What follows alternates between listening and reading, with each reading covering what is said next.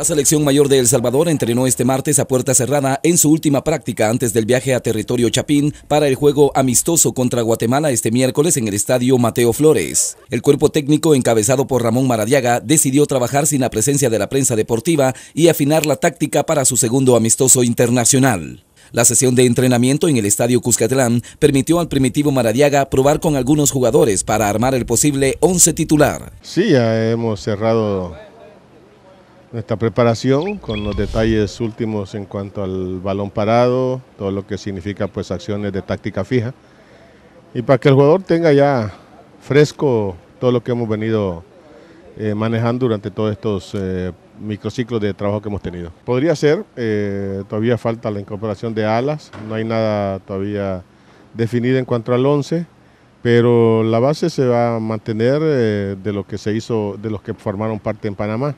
Así es que de momento no, no tenemos el 11 al 100%, pero sí ya por decir un 80% ya está definido. El porcentaje que, que sirve es el hecho de que va a haber una exigencia. Hoy se lo comentaba a periodistas guatemaltecos, no estamos viendo las características de Guatemala porque son totalmente opuestas a las de Honduras. Lo que estamos viendo es lo que nosotros vamos a hacer, nuestro trabajo. Eh, eh, independientemente de quién sea el rival. Eh, el Salvador tiene que manejar una identidad de juego, un estilo, y ese estilo es el que vamos a tratar de hacer prevalecer.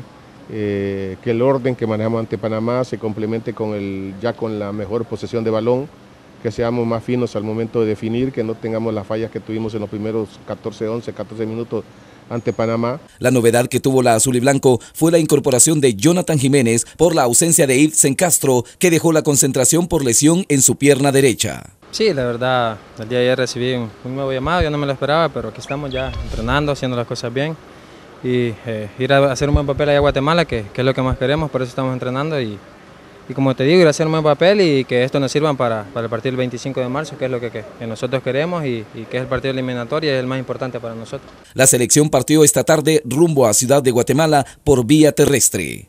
Con imágenes y reportes de Samuel Doño, informó para la Ricardo Luna.